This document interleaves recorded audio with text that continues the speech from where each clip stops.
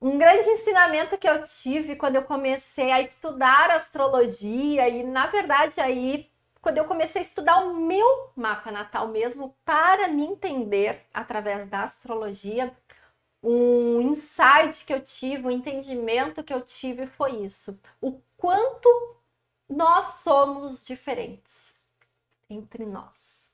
O quanto não existe realmente uma receita de bolo que sirva para trazer a felicidade para todo mundo. O quanto a ideia lá do checklist da vida perfeita é ilusória.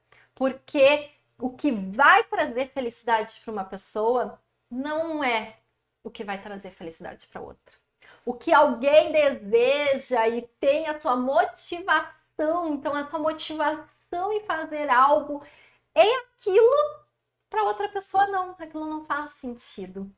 E isso a astrologia nos mostra lindamente, porque quando tu olha o mapa de diferentes pessoas, são estruturas completamente diferentes.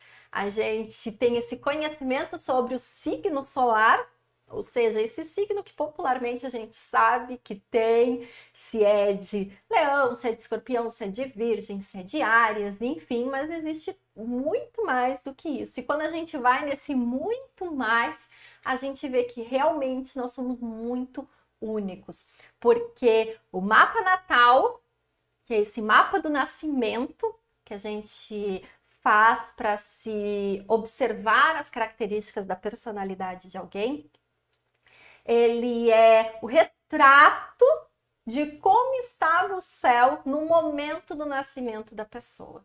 Então, assim, o, a exatidão na hora do nascimento é super importante também por esse motivo, porque minutos vão ser necessários para que várias disposições de planetas uh, aconteçam ali e modifiquem então essa análise por parte do astrólogo. Então, ai, deu uma coceira aqui. Então, isso tudo me mostrou o quanto nós somos diferentes entre nós, cada um com as suas necessidades internas, cada um com as suas motivações também em agir no mundo.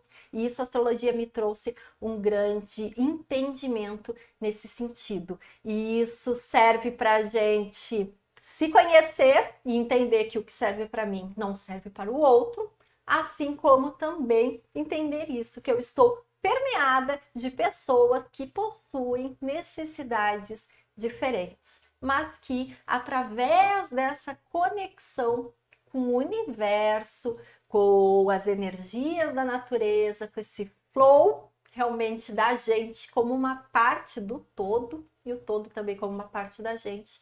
Isso traz uma grande sabedoria na nossa vida, uma grande, um grande autoconhecimento, um grande entendimento da vida em vários níveis. Então,